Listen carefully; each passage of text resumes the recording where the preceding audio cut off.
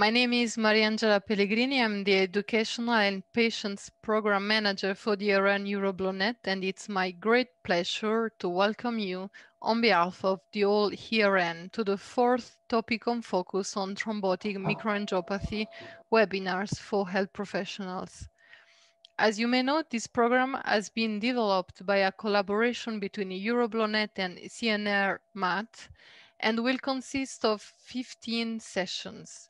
Furthermore, the program is accredited by 11 continuing medical education point of the European Board for Accreditation in Hematology. So, dear audience, please welcome with me the speaker of today's session is the Professor Paul Coppo, who will lead this session on present and future of thrombotic thrombocytopenic purpura treatment Paul Coppo is professor of hematology at Sorbonne University in Paris. He has had the French Reference Center for Thrombotic Microangiopathies. Indeed, Paul Coppo has set up ex nihilo this reference center, which is a resource center for the diagnosis and the management of thrombotic microangiopathy and he is also head of the Department of Lymphoid Malignancy in Saint Antoine Hospital, in, involved in the management of rare lymphoid malignancies and other immunohematological disease. So please, Professor Coppo, the floor is yours. Thank you. Thanks a lot, uh, Mariangela, for this uh, nice uh, introduction. And good afternoon, uh, everybody. And uh, indeed, uh, welcome to this webinar dedicated to the present and future of uh, thrombotic thrombocytopenic purpura treatment.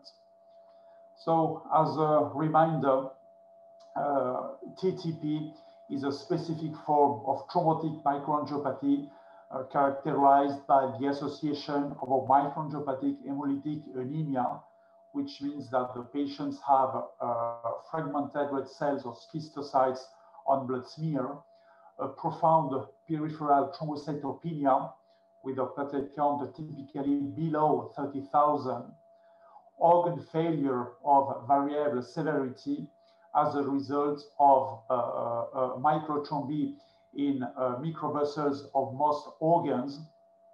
And in this disease, there is a specific biomarker, which is a severe deficiency in ADAMTS 13 the von Willebrand factor uh, uh, cleaving protease.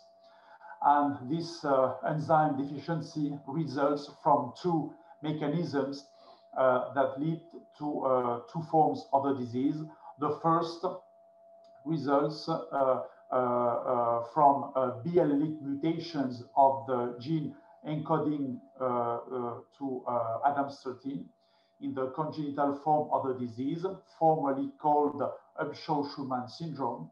This is an uh, ultra-rare disease, an orphan disease uh, that involves uh, neonates uh, and uh, children in the post-neonatal period, as well as childbearing age women. and the most frequent form of the disease is the autoimmune form of the disease in which patients develop autoantibodies directed against ADAMTS 13. this form of the disease involves typically one woman.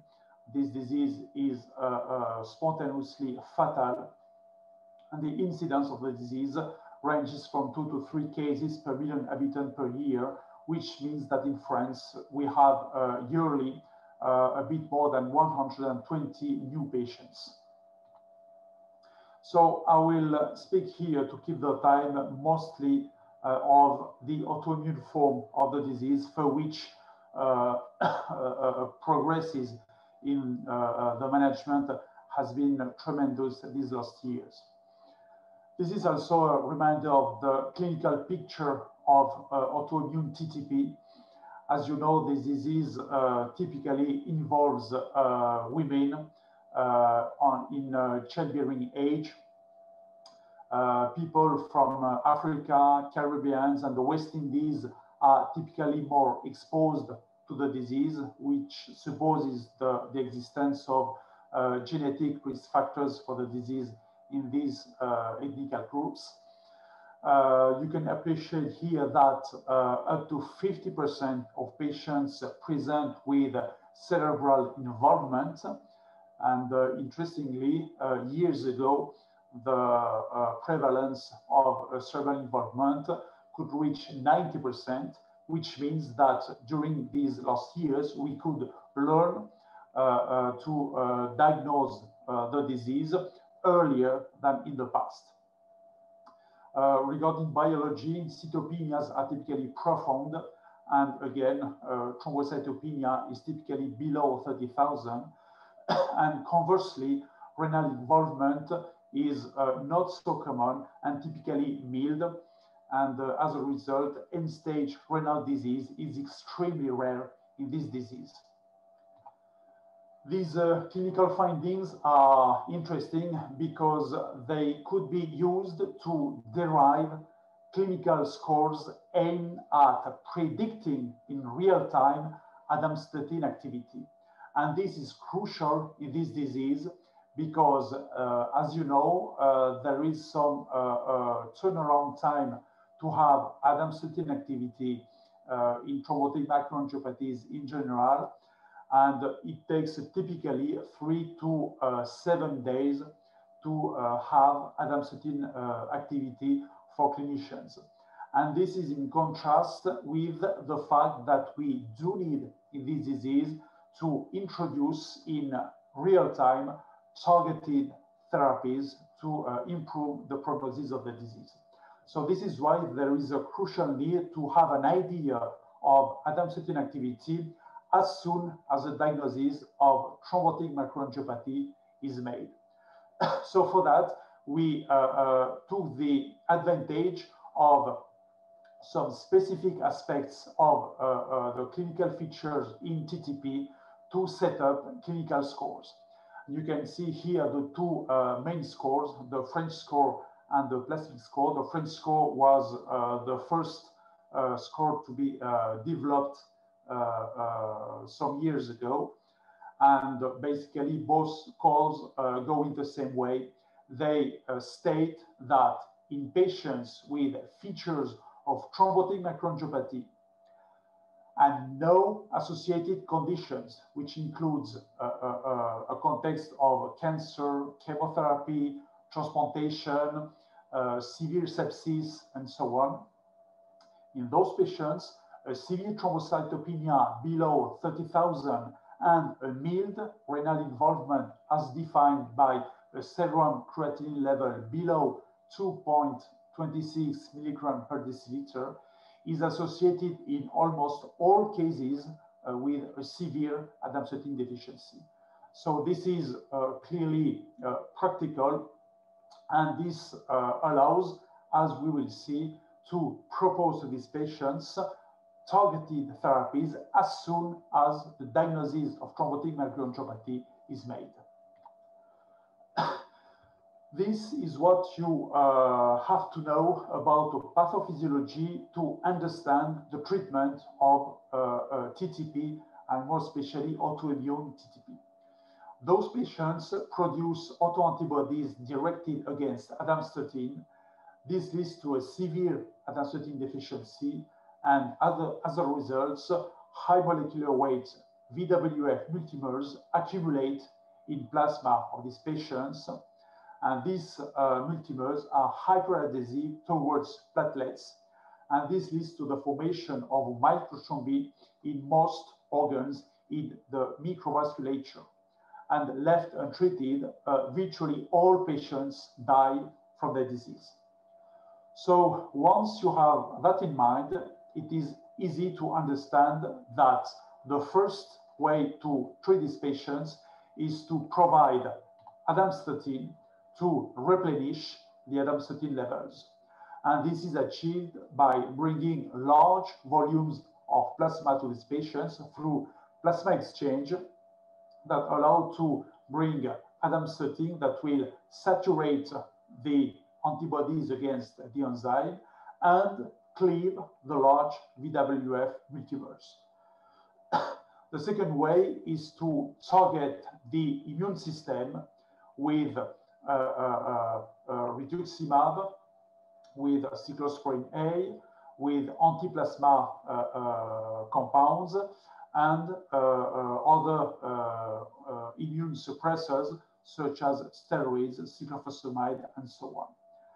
And the third and most uh, recent uh, strategy consists in inhibiting the pathologic interaction between VWF and the receptor of uh, VWF, the GP1B, at the surface of platelets.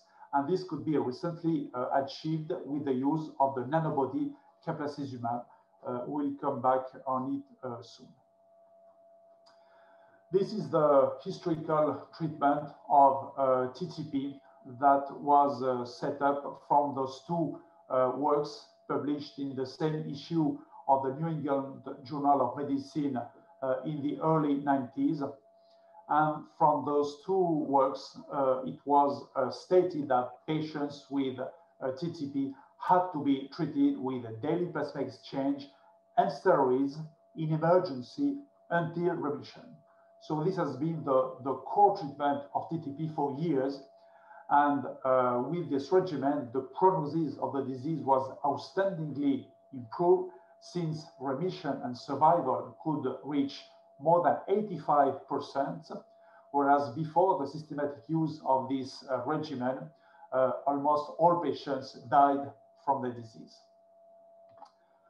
However, uh, there were uh, still some uh, unmet needs with this uh, historical treatment, since patients could experience exacerbations of the disease in up to 50% of cases.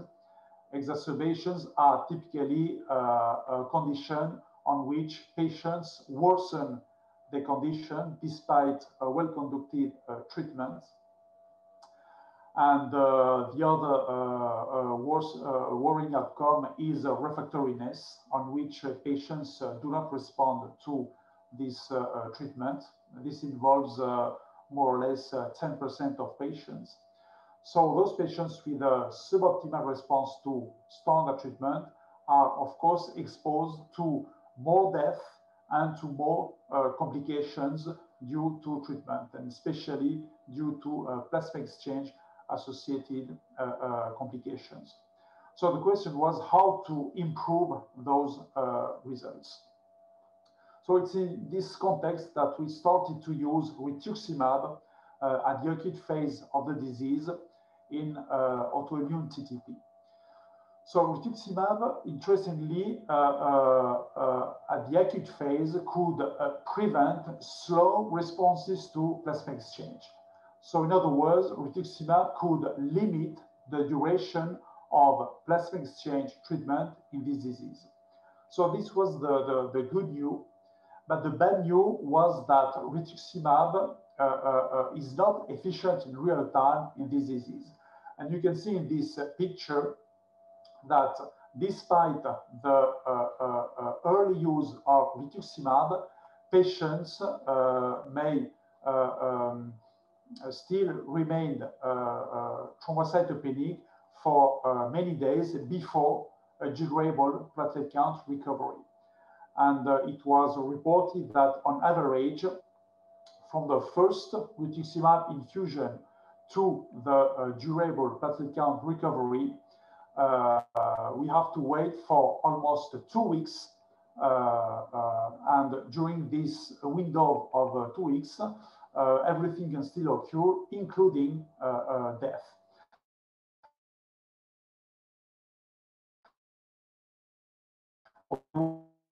need to find a new time uh, on which patients could still worsen the disease and even die. So uh, I was saying that uh, regarding the unmet needs with the use of only plasma exchange and steroids, we started to use rituximab to prevent slow responses to plasma exchange. and indeed, with the uh, systematic use of rituximab at the acute phase of the disease, along with plasma exchange and steroids, we could limit the duration of plasma exchange treatment. However, the, the bad news in, the, in this story is that rituximab is not efficient in real time. So this means that uh, when you start rituximab in uh, TTP, you have to wait for almost two weeks before platelets and uh, clinical uh, uh, pictures of the disease completely recover. So during this uh, two weeks window, during which rituximab is still not efficient, patients can still worsen the disease and even die. Okay, so there was a need to find an additional agent able to control the disease at the early step of the management until rituximab is efficient. The other interesting point with the use of rituximab, and this is a crucial aspect, is that rituximab remarkably protects patients from early, early relapses. You can see in this picture that rituximab at the acute phase of the disease nicely protects patients from relapses for 12 to 18 months. On the opposite, patients, uh, historical patients who did not receive rituximab at the acute phase of the disease experience uh, relapses soon after they recovered from the acute phase. And this is because without the use of rituximab, 40% of patients uh, uh, uh, remain with a severe ADAMTS 13 deficiency despite a clinical recovery of the disease.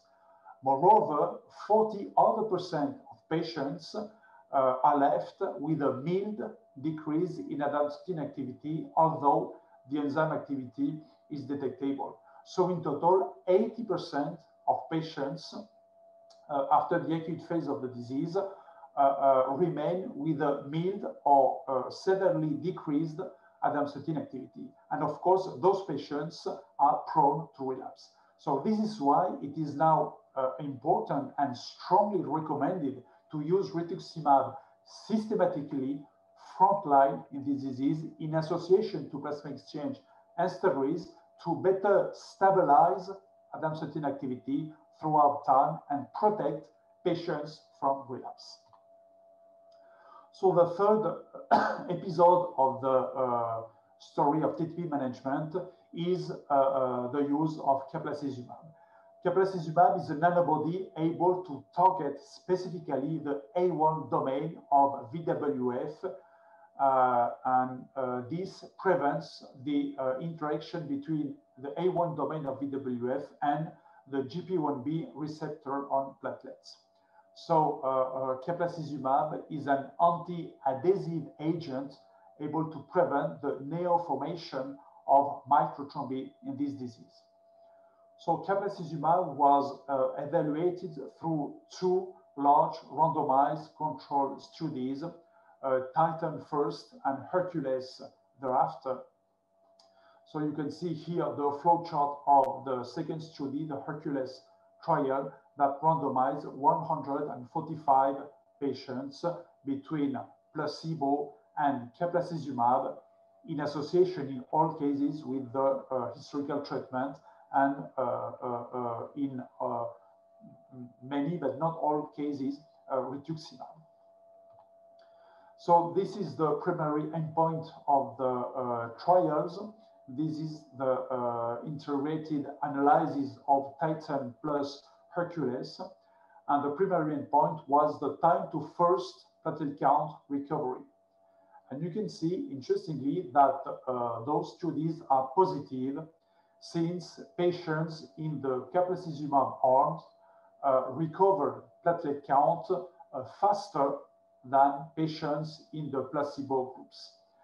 And this is uh, important and interesting because in this disease, patients are exposed to death during this period of thrombocytopenia. So less exposure to thrombocytopenia means less exposure to death. More interestingly, the difference between the two curves is uh, particularly obvious at the very early step of the management.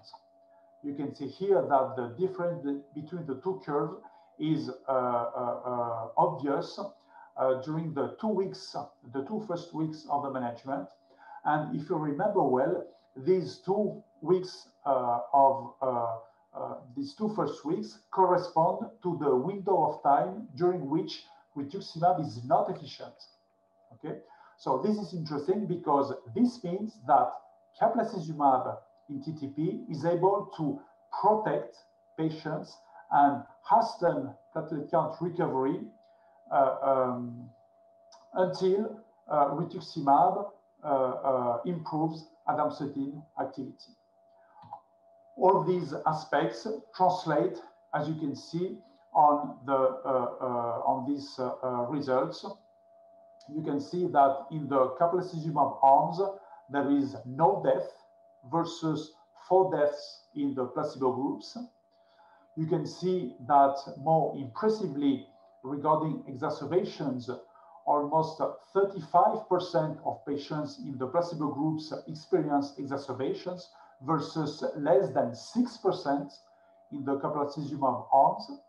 And if you go directly to the bottom of the slide, you can see that regarding refractoriness, there was no refractoriness in the caplacizumab arms versus seven cases of uh, refractoriness in the placebo groups. So from these uh, results, the agent uh, uh obtained a label for the use in autoimmune TTP frontline as soon as the clinical diagnosis is made in the United States and in Europe.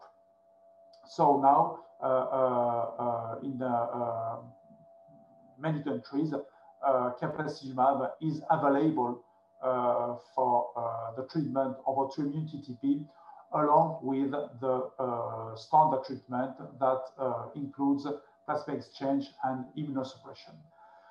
so uh, as soon as we uh, uh, could uh, have caplacizumab available in, in France, we could use it through an early access program period. And during this period of time, we set up a regimen, the Caplavi regimen, derived from uh, the Hercules uh, trial to uh, address rapidly um, the, the, the, to improve our experience in the use of caplacizumab in our country. So we uh, um, proposed uh, to treat patients with TTP at the national level with a triplet regimen associating daily plasma exchange, immunosuppression with steroids and rituximab, and caplacizumab. And after uh, uh, complete uh, uh response achievement, ADAMTS 13 activity was assessed uh, weekly until uh, it became normal. So we could treat during 18 months period of time 90 patients with this triplet regimen. So the triplet regimen uh, defines uh, patients who received caplacizumab. And these 90 patients were compared with uh, our historical cohorts composed of 180 uh, patients, which were the most recent patients managed just before the area of caplacizumab. And you can see here the uh, primary and secondary outcomes of those patients treated according to the uh, triplet regimen you can see that the composite, the, the primary uh, outcome of this study was a composite of death and refractoriness. And you can see that interestingly, in the triplet regimen, only two patients out of 90 uh, reached this uh, composite outcome, which means 2.2% versus more than 12% in the historical cohorts. This means that patients in the triplet regimen who received once again caplacizumab experienced very rarely death, uh, a bit more than 1% versus 6.7% in the historical group. And refractoriness, similarly, was observed in only one patient in the triplet regimen versus 16 patients, 18% in the historical group. More strikingly, uh, regarding exacerbations, 44% of patients experience exacerbations in the historical group versus less than 4% uh, of exacerbations in the triplet regimen. And regarding the uh, uh, remaining results, this is to show that this rapid response to treatment translated in an alleviation in the burden of care. So these patients required, required uh, twice less plasma exchange, twice less uh, uh, volumes of plasma, and uh, the duration of hospitalization could be divided by twofold. So these were interesting results that fully confirmed the international clinical trials. You can see here uh, the cumulative hazard ratio for platelet count recovery and you can see that the patients in the triplet cohorts recovered durable platelet count uh, uh, twice more uh, rapidly than uh, patients in the historical cohorts. And this is to show that uh, those patients treated in the triplet regimen received systematically rituximab frontline, and this could result in a, a faster improvement in ADAMTS 13 activity. You can see in the uh, red uh, histograms that patients who received rituximab uh, improved ADAMTS 13 activity uh, uh, in the uh, first weeks of the management, whereas patients in the historical group who only received rituximab as a salvage therapy, so um, uh, uh, uh, later throughout the management, those patients improved ADAMTS 13 activity typically after many weeks. So this is an important aspect because this means that the sooner you introduce rituximab, the sooner you will observe an improvement in uh, ADAMTS 13 activity, and the sooner you will be able to stop the treatment with caplacizumab. This is a, a, um, an illustrative patient treated with the triplet regimen. This is actually the very first patient in France treated with the, uh, the triplet regimen. This was a 45 year old woman with uh, no uh, uh specific uh, history. Uh, she had some overweight and she had typical features of thrombotic microangiopathy. She had a severe thrombocytopenia. She had a mild renal involvement, so the French score was of two. So we immediately made the diagnosis of TTP and we started the treatment. Uh, by the way, she had a cerebral involvement as well as a heart involvement defined by an elevated uh, troponin level. So this patient was exposed to death, to exacerbations and refractoriness. Nevertheless, you can see that immediately after the treatment was started, she nicely improved platelet count. And you can appreciate that platelet count improved rapidly and durably with no further worsening. Okay. Similarly, LDH level that uh, uh, reflects organ injury dramatically dropped immediately after treatment was started to normal values. And this uh, normal value of LDH uh, uh, persisted throughout time. And thereafter, we monitored ADAMTS 13 activity weekly after platelet count recovery and as soon as uh, ADAMTS 13 activity reached 20%, uh, uh, we could stop uh, caplacizumab. And uh, uh, you can see that these patients required less than seven days of daily plasma exchange.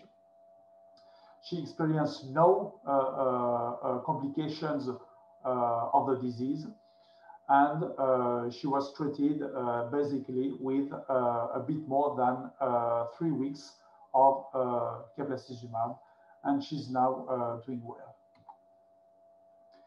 Regarding side uh, adverse events uh, with the use of caplacizumab, we had no further red light uh, regarding the, in the reports of the international trials. We had two major bleedings, including one hemorrhagic shock in an elderly patient who had a, a history of chronic renal failure. He was also uh, treated with uh, an antiplatelet agent. So uh, this is to say that uh, we have to be careful in the use of caplacizumab in the elderly. And this is an uh, aspect we are uh, currently uh, uh, addressing. We had many cases of clinically relevant non-major bleedings, mainly epistaxis. We have cases of small hematomas, gingival bleeding, ecchymosis, but uh, uh, these were uh, easily manageable. Some cases of inflammatory reaction at the injection site that were prevalent at the end of the management with caplacizumab and uh, also cases of uh, thrombocytosis uh, and especially some cases of, let's say, severe thrombocytosis so these patients were uh, uh, systematically reported, although the relationship between the use of caplacizumab and thrombocytosis is speculative. So this was for the management of TTP at the acute phase. So you can appreciate that the introduction of caplacizumab with the uh, therapeutic armamentarium uh, uh, for this disease uh, is completely changing the landscape of the prognosis of this disease. And it is obvious that the use of caplacizumab um, seems to circumvent the uh, bad prognosis uh, of, uh, of the disease. So now the disease at the acute phase is becoming uh, uh, of good or even very uh, good prognosis. So now let's move to the prevention of relapses. TTP remains a severe condition uh, and uh, uh, even for relapses, we have to consider this disease as a severe condition. So this is to say that we do need to prevent efficiently relapses in this disease. Patients with TTP uh, can frequently relapse. This occurs in uh, more or less 40% of cases simply because patients after the acute phase can drop ADAMTS13 activity. Uh, moreover, uh, keep in mind that for each relapse, patients will have to be treated again with daily plasma exchange, steroids, immunosuppressors, and so on. So this will expose patients to further complications due to the treatments. Uh, there is an increase, uh, an increasing reports of uh, neuropsychiatric sequela in patients who experience episodes of TTP, and it is likely that the more patients relapse, the more they will experience uh, neuropsychiatric uh, events during follow-up. So uh, there is a need to efficiently and aggressively prevent relapses in this, in this disease. So there is an uh, efficient way to uh, prevent relapses in uh, TTP because as you know, the very first event before a clinical relapse is a drop in ADAMTS13 activity. So this is the very first event. And uh, thereafter, uh, if patients are left with a severe ADAMTS13 deficiency, then they will develop thrombocytopenia and then microangiopathic hemolytic anemia, organ involvement, and then death. So the strategy here was to uh, treat these patients preemptively at the very first step of the disease when they only have a severe acquired ADAMTS13 deficiency. So in these patients, uh, uh, we and others propose preemptive treatment with rituximab. So in those patients, otherwise in clinical remission, but with only a severe ADAMTS13 deficiency, the systematic use of rituximab allowed to remarkably prevent clinical relapses. You can appreciate this in this uh, picture. You can see that uh, historical patients in the bottom curve were exposed to uh, clinical relapses. Uh, this uh, curve represents 23 historical patients left with a severe ADAMTS13 deficiency and no further action. And you can see that within a median follow-up of seven years, uh, uh, up to 74% of patients relapsed. 11 of them experienced multiple relapses and two of them died from the disease. So this is an unacceptable uh, uh, uh situation. And uh, uh, this was a, a, strong argument to strongly suggest the preemptive, to, to propose actions in these patients. And you can see uh, uh, that uh, the use of a preemptive rituximab in this patient could shift this curve to the top and prevent relapses in a substantial number of patients. So this is uh, uh, so far um, an uh, historical curve because now with the, increasing experience we have in the use of preemptive rituximab, uh, we can prevent uh, clinical relapses in more than 90% of patients, simply because for those rare patients who do not respond to preemptive rituximab, we propose more intensive regimens with rituximab derived from what we uh, propose to patients with uh, chronic lymphoid malignancies in those patients who do not respond to intensive rituximab, we propose alternative treatments with cyclosporine.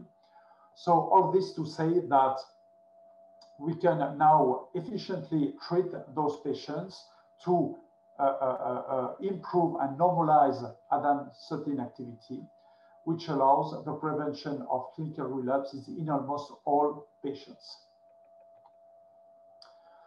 So lastly, uh, I will in the end uh, uh, talk about probably the most important aspect nowadays to efficiently prevent death in this disease. And to uh, illustrate uh, this aspect, I will present you the story of a 45-year-old uh, patient who started her story uh, in uh, uh, February 15th in the evening when she started to have a, a digestive picture consisting in nauseas, epigastric pain, and she put that clinical picture on the back of a meal of mussels the day before. Uh, the day after, she started uh, vomiting with uh, hematemesis. Her husband found she was uh, a bit uh, yellow, so she consulted her GP.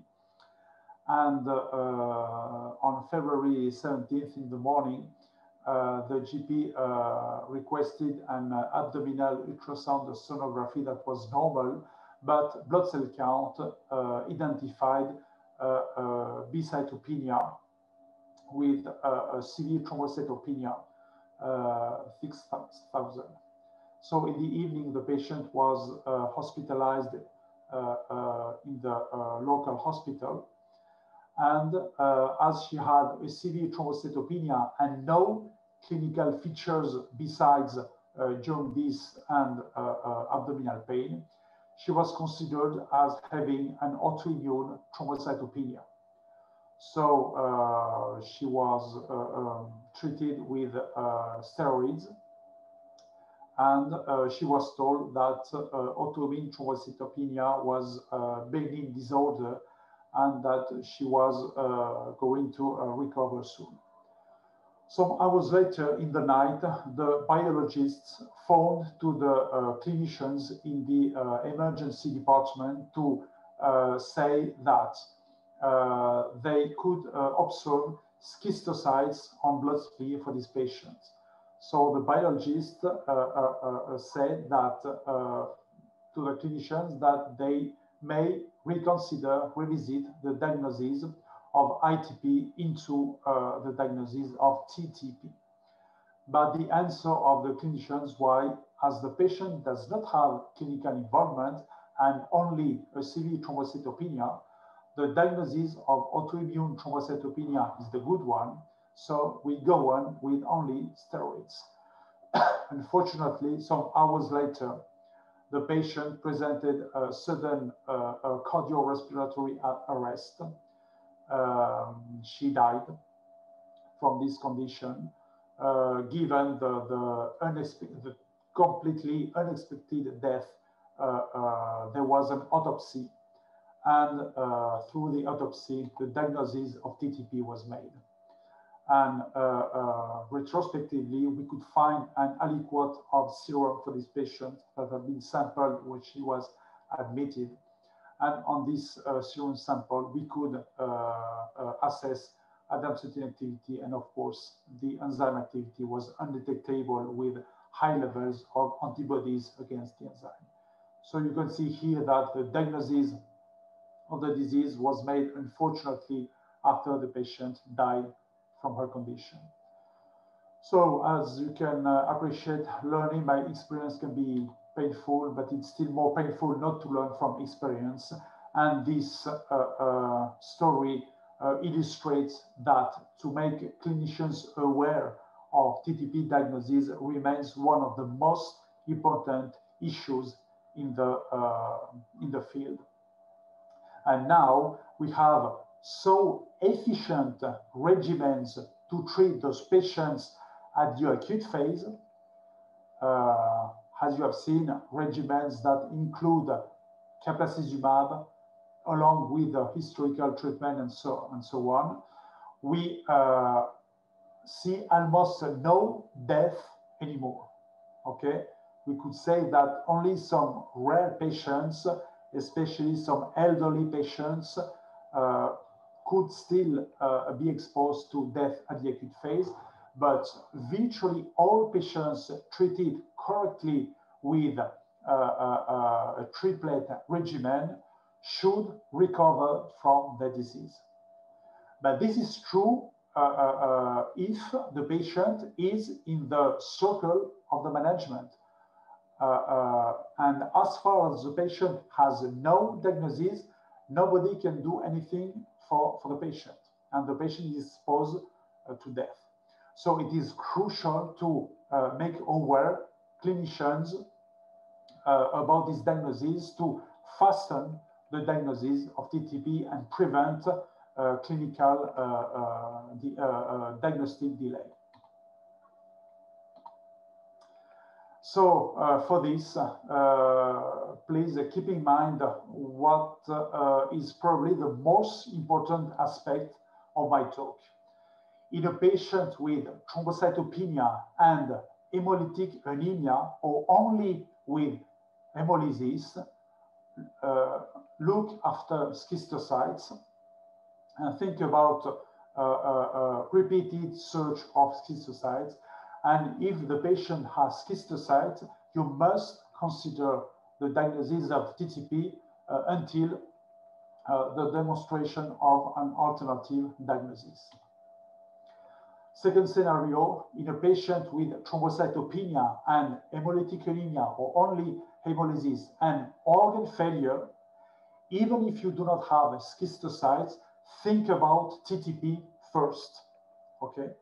And it is only on ADAMTS13 activity that you will uh, be able to consider an alternative diagnosis if the enzyme activity is normal. Third pillar of the uh, uh, diagnosis, once you have uh, diagnosed or strongly suspected the diagnosis of TTP, congratulations, you did the most difficult aspect of the management. So just refer the patient to or contact a trained team for uh, the treatment immediately if required. Okay. So at the time of uh, reference centers of Google uh, and so on, it is very easy to find a specialist of the disease 24-7 uh, um, every part uh, in the world. So this is to uh, summarize the management of TTP. as you could appreciate, we are moving uh, uh, to uh, complete management of this patient based on the pathophysiology.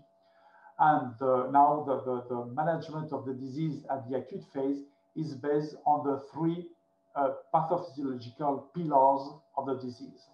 The first pillar is ADAMTS13 supplementation, uh, that is achieved uh, so far with daily plasma change and probably soon with the recombinant ADAMTS13, which is under investigation through uh, therapeutic uh, trials.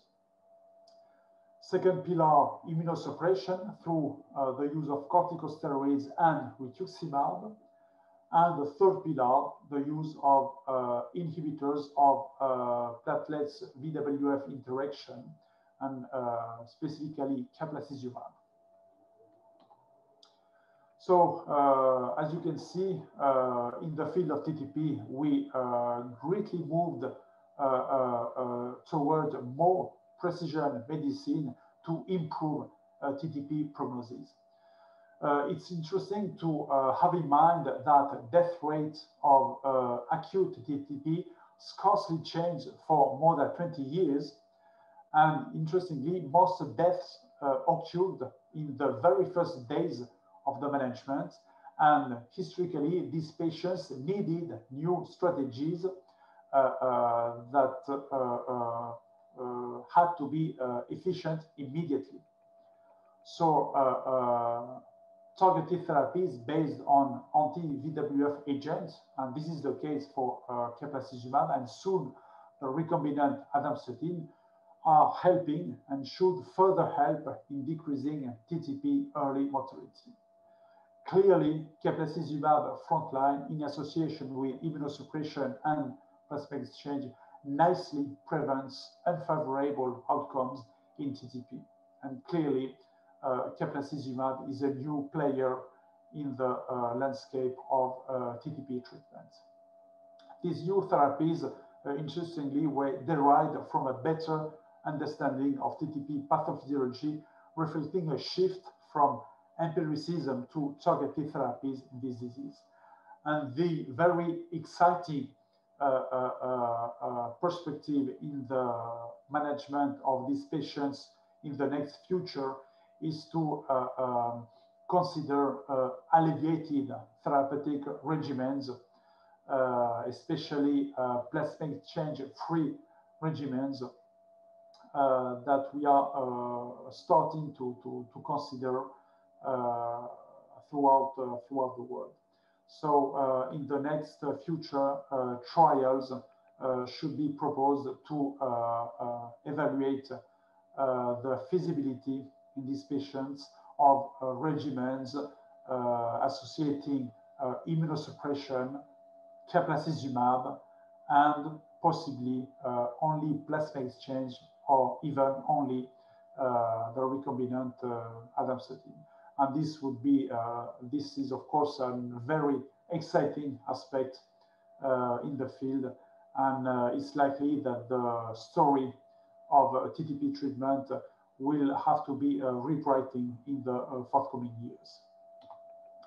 And this is lastly to thank all the colleagues with whom I work on this topic in France in the left part of the slide as well as uh, throughout uh, the world uh, in the right part of the, of the slide. there is now an international group uh, devoted to the, the, the study of uh, TTP. We recently published in Blood uh, um, new recommendations for the um, regarding new definitions of TTP regarding the response to treatment that include the monitoring of ADAMTS13 so uh, yes, this is to, to thank all these, uh, these uh, people. And thank you for your attention. Thank you very much, Professor Coppo. I will echo the feedback in the chat that say thank you for this excellent lecture. So I really will stress thank you very much for this excellent lecture. So I have received first um, question um, privately. So the first one is about COVID pandemia. I will copy paste in the chat and I will let you read. And I, I've received five questions privately, so I will let you appear them in the chat. So this is the first one. Yes. So, uh, is the COVID pandemic limiting the use of rituximab frontline that you adopt in France? No, uh, not really. Uh, the first point is that we did not observe uh, uh, uh an explosion of cases of uh, COVID-19 in TTP patients. And our experience, through our experience, we did not observe cases of TTP worsened by COVID-19. So basically, we continued to treat those patients uh, as usual, uh, including uh, uh regarding the use of uh, immunosuppressors.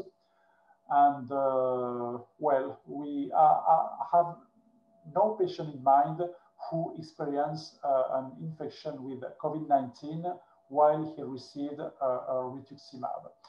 Uh, we anticipated uh, with the international uh, study group declined managements in case of an unavailability of a plasma exchange in emergency.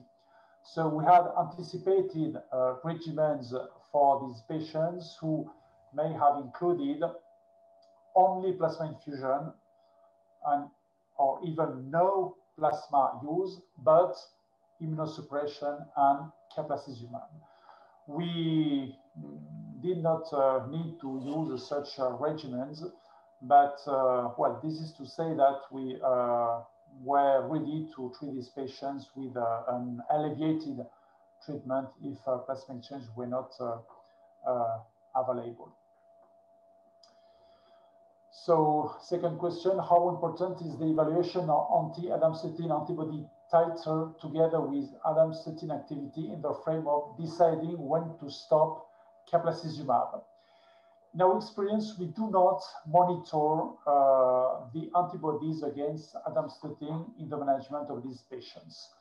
Uh, in adult patients, I would even say that outside pregnancy, the use of antibodies is almost useless because virtually all adult patients outside pregnancy with TTP have an acquired form of the disease.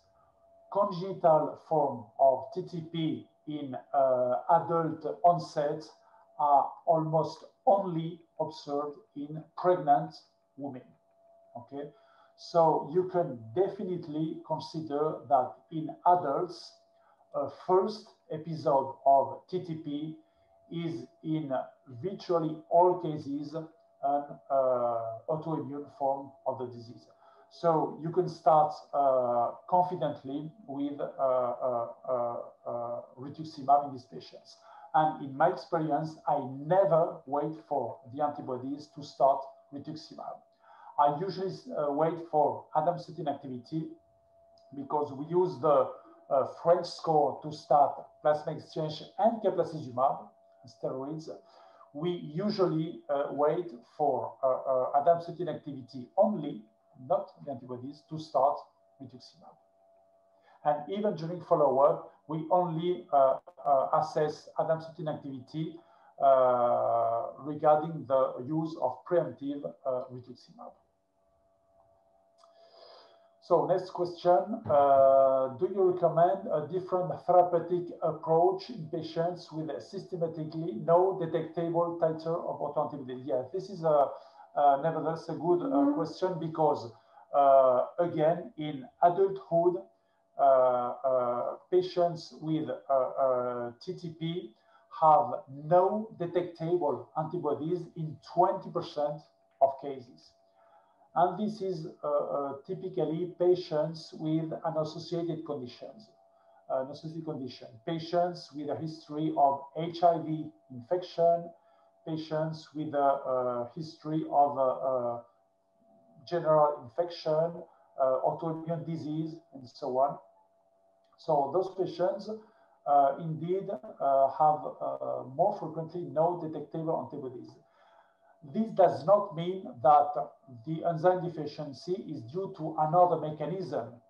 Uh, my, uh, I believe that those patients do have antibodies, but simply these antibodies are too low to be detected. And this is to say that those patients have to be treated in the same way than patients who have detectable antibodies. In our experience, we are uh, uh, um, studying specifically th those patients, and we will soon report uh, this uh, uh, experience.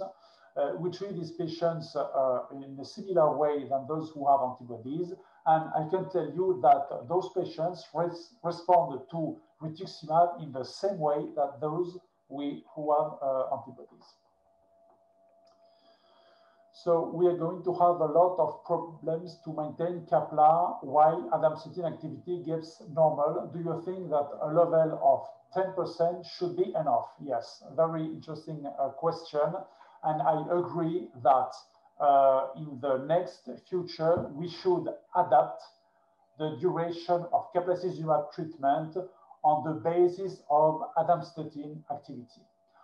Formerly, uh, uh as not all the centers in the world uh, uh, had an easy access to ADAMTS13 activity, it was decided that uh, patients had to receive caplacizumab for at least 30 days after the last PEX session, and then uh, uh, um, uh, still more if ADAMTS13 was depressed but the experience showed that for a substantial number of patients, ADAMTS13 activity improves before day 30 after the last PEX session. And in those patients, of course, caplacizumab could be stopped. So I agree that as soon as ADAMTS13 activity improves, caplacizumab can be stopped and the threshold of ADAMTS13 activity to consider that patients are protected from TTP is empirically of 20%.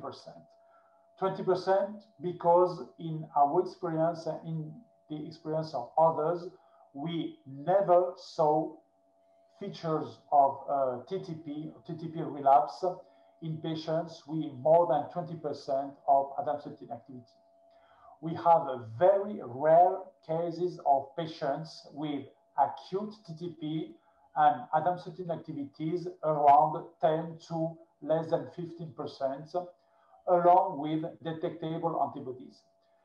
This means that in a very rare subset of patients, one could observe features of TTP while ADAMTS13 activity is between 10 and 15%. So to be very uh, uh, comfortable, I would say empirically, this is not evidence-based medicine. I would say that empirically, the threshold of 20% is very safe, okay? 10% is very uh, uh, tied to the red line. And I would, again, empirically uh, uh, uh, consider 20% as a more safe threshold. Uh, next question, should we treat TTP patients with caplacizumab when they only have anemia and thrombocytopenia? Yes, this is another crucial question. Uh, one uh, general question was to address whether all patients with TTP should be treated or not with caplacizumab.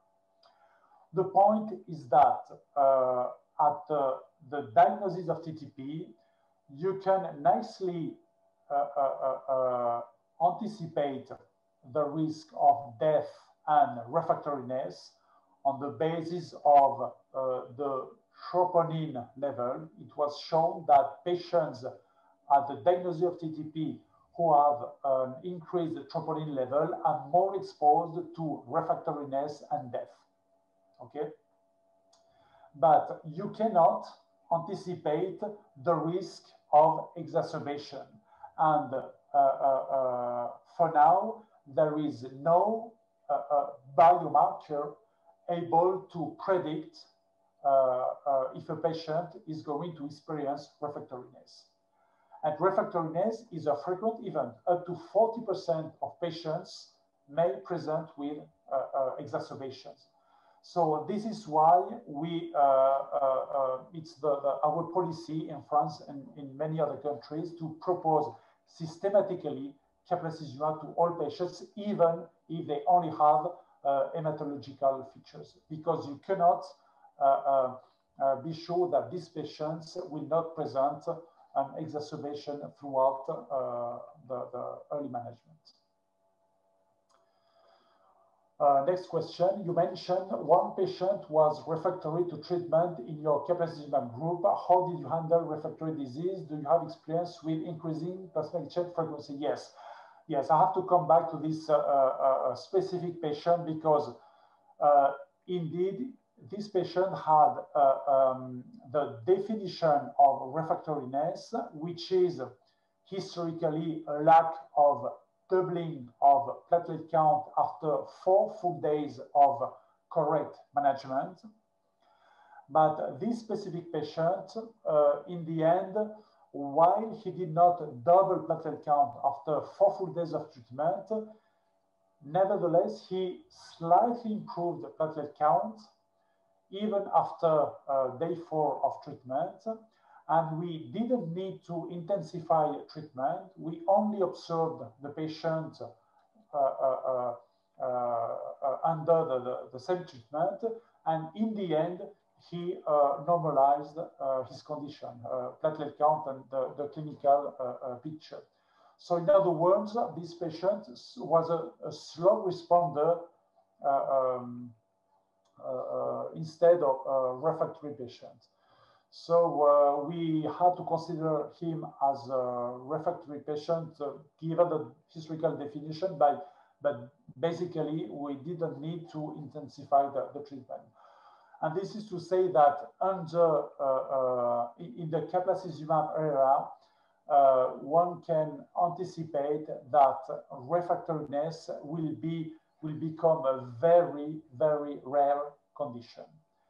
And uh, on these very, very rare patients, uh, one could um, anticipate that uh, the best treatment would be twice daily plasma exchange along with caplacizumab and immunosuppression. But again, refractoriness in the area of caplacizumab should disappear. Uh, next question. Uh, if we cannot titer antibodies, ADAMTS13, what would you recommend us about this? Again, uh, the most important aspect is to have ADAMTS13 activity in a, a fair uh, delay uh, of time. Because, uh, as you know, we emphasize in the ISTH recommendations that the use of caplacizumab um, is uh, uh, pending on the availability of ADAMTS13 activity.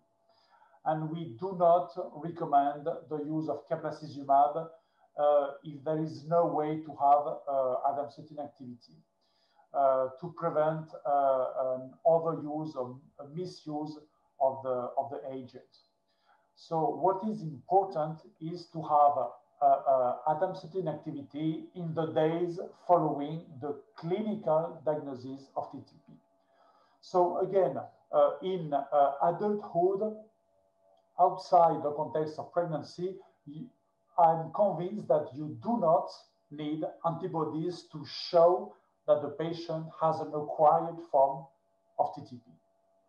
You only need antibodies the, the, the, search of antibodies against ADAMTS13 in childhood, of course, because you have half of patients uh, who have a congenital form of the disease and the other half have an acquired form. So it is, of course, more challenging to uh, make the diagnosis of congenital versus acquired TTP in childhood. So you do need antibodies in childhood. And this is the same for pregnant women with TTP half of them may have a congenital TTP, especially if they experience a first episode of TTP. But outside these two situations, in adulthood again, uh, you may not uh, require the antibodies to manage your patients. Just consider they have an acquired form. Uh, what is the maximum expected duration of rituximab in the prevention of long-term relapses? The maximum accepted duration, yes. Uh, I would say basically it, it, it is quite uh, variable from one patient to the other. Uh, and I would say that you have three scenarios. The first scenario, which occurs in 10 to 15% of patients, is that rituximab is not efficient, okay? You have some cases of patients who do not respond to rituximab. So in these patients, you have to intensify the treatment as we do in patients with uh, chronic B-cell uh, malignancies. So we treat those patients uh, one to two years with uh, uh, uh, um, rituximab every two months. And um, in the end, these patients respond to treatment. Some patients, 20% of cases, respond durably and some of them definitely to uh, rituximab. So with a one-shot administration of rituximab, ADAMTS13 activity normalizes for years. But the most frequent scenario in around two-thirds of cases is that those patients need repeated infusions of rituximab every 12 to 24 months. And this is nicely correlated to the peripheral B cell recovery. So this means that with an uh, uh, rituximab infusion, you completely uh, uh remove B cells from uh, blood. Those patients respond nicely uh, to rituximab, but 12 to 24 months later, while the B cell uh, uh, count has uh, normalized, antibodies may reoccur and ADAMTS13 activity may drop again. So in those patients, you need to start again rituximab. So the most uh, common scenario, uh, uh, which occurs in two-thirds of cases, is that you need to perform rituximab every one to two years. Thank you very much. Professor okay.